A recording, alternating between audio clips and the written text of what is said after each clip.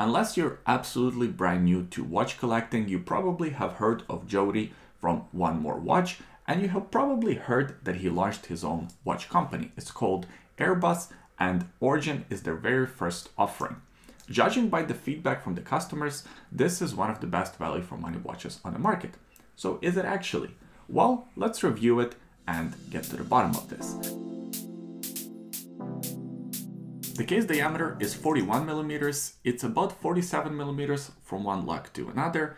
The lug distance is 20 millimeters and the case height is about 12.7 millimeters. The watch and the bracelet are made out of stainless steel. It features an all satin finish. There are no high polished parts anywhere on this watch, even on the crown, even on the case back, even these sort of chamfered edges on the sides of the lugs are all executed with the brushing and I think for the money the execution is really good. These watches come at around 350 US dollars on the stainless steel bracelet. The crown is located at the 3 o'clock position, it's protected with a couple of crown guards.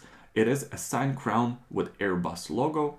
It is also of course a screw down crown since this watch features 200 meters of water resistance. It also features a screw down case back with the Erebus logo engraved. For 350 US dollars, you actually get quite a bit of value. First of all, you get a flat piece of sapphire crystal with some AR coating. Secondly, you get a ceramic bezel insert that's actually lumed. I will demonstrate lume a little bit later on.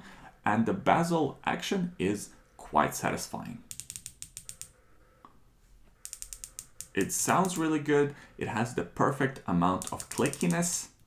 It's firm and there's very little backplay. I've experienced some watches in a much higher price category that don't have as satisfying bezels as this watch does. Overall, the case construction feels very solid in my hand. It doesn't feel like a watch that's been done on a budget. Everything here, from the crown action to the bezel action to the overall feeling is pretty great. This Origin model comes in a few different color variations. The one I have in front of us is of course this blue dial with the blue bezel. I think that looks absolutely sharp. The design of it harkens back to a little bit of Tudor Pelagos, a little bit of Helm watches, this micro brand that I actually never reviewed, but I know quite a bit about. It has these chunky painted on indexes. Some are square, some are rectangle. I also appreciate the fact that this dial has a grainy finish. It looks more purposeful. It looks like it belongs with this design. You have the logo by the 12 o'clock position, origin and 20 atmospheres written closer to the 6 o'clock position. And also at the 6 o'clock position, we have a date complication. Now the integration of a date window is perfect. I am a stickler for these date windows. I hate when the date window is out of place, when they put it at the 4.30 o'clock position, or when they have a weird cutout. Here, the font is bold, it's legible, and it doesn't throw off the symmetry of the dial in any way. I also like the set of hands here. They're simple, chunky sword style hands, but I like the fact that they have that matte black finish by the stem. I think that looks really sharp. The second hand also features that matte black finish with a tip in white, and it also features a lumed lollipop, but in this case, it's actually a square. Now, here's the lume shot for your reference. I think the lume is excellent. Once again, I'm not sure how they're able to pack all this value in a watch for $350. As far as the bracelet goes, you have a couple of options. You can go with a rounded H-link bracelet or you can go with the flat H-link bracelet. The one I have in front of us is the rounded one.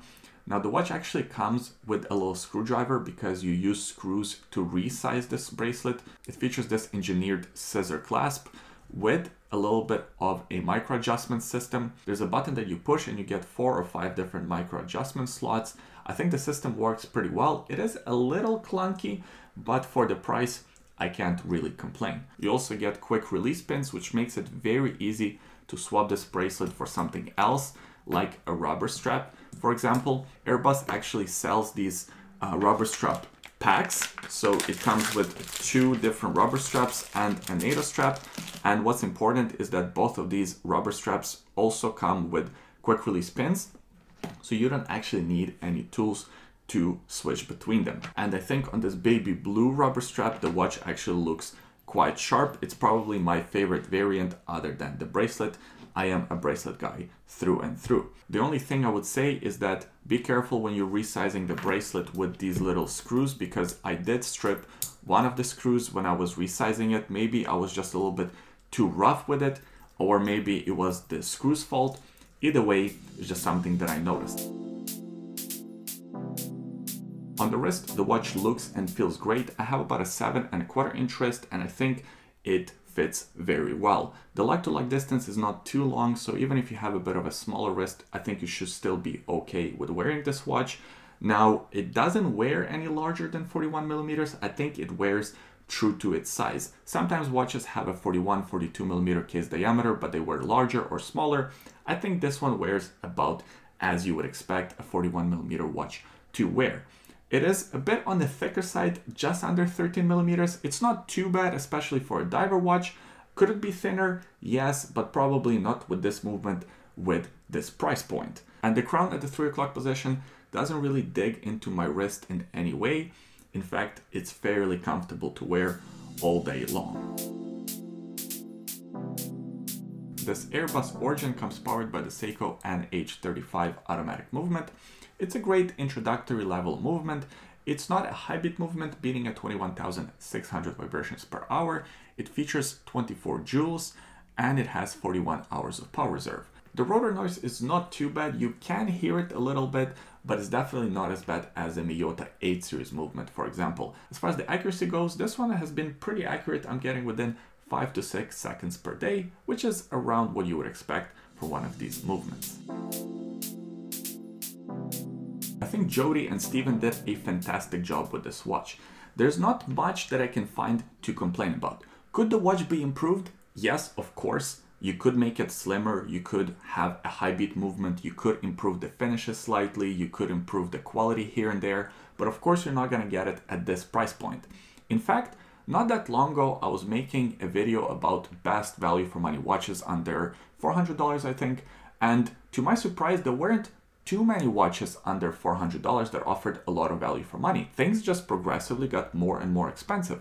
That's why a watch like this is very surprising to me because they were able to fit so many different features that a lot of watch collecting community was asking for in a pretty affordable package. You get an automatic movement, sapphire crystal, ceramic bezel insert, fantastic bezel action. That bracelet is fantastic. You get screws for easy resizing.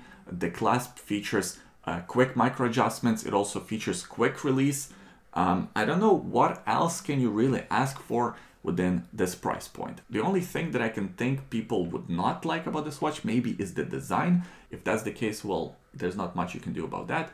But in terms of the value for money proposition, in terms of the quality, it is definitely all there. I hope to see more great releases from this company, from Jody, from Steven. I think they did a fantastic job with this watch. And if it's something that you're interested in, if you pick one up, I don't see you being disappointed.